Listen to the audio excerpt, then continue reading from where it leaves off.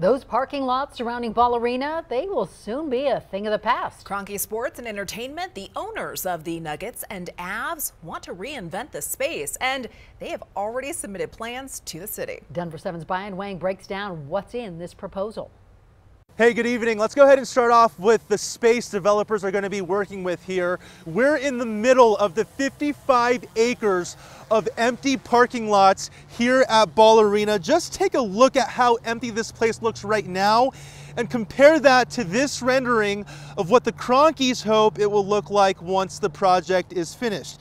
Taking a closer look at their vision, the Kroenkes really want to create a community with this 55 acres they own. Developers say it will include retail shops, apartments, five bridges, 10 acres of open space, 10 different bike paths, each one mile long. And some of the renderings are pretty awesome. The Downtown Denver Partnership says this place will attract thousands of residents into the area. The Elitch Gardens RTD light rail stop will expand through this area as well. My biggest question is how is this project going to impact traffic in the Speer and Wewatta area? If you ever been here during game night, it is an absolute nightmare. Traffic is stop and go. Well, the developers told me that they are going to create an overpass in this area where pedestrians can cross. I also spoke to the Kroenkes spokesperson and he told me that the project is going to take at least 10 years to complete. Right now the project is in the early review stages by the city. That review process includes the Kroenkes hosting a bunch of open houses for people to come and share their thoughts, which have been positive so far.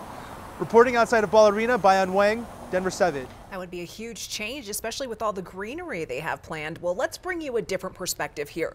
The Colorado Public Interest Research Group, or COPIRG, raised some questions about transportation near Ball Arena. The city has a plan called Denver Moves Everyone to add frequent rapid bus routes to in the city. And four major routes pass through this area, but COPIRG says they don't go far enough to connect with each other. We know that a lot of people you don't just go down one street. You don't just stay on one street.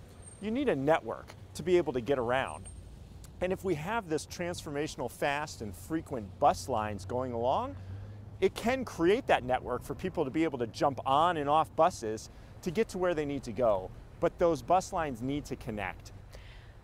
Denver's 2030 bus rapid transit plan is taking public comment through March 3rd, and COPIRG hopes residents will raise these concerns to close the gaps.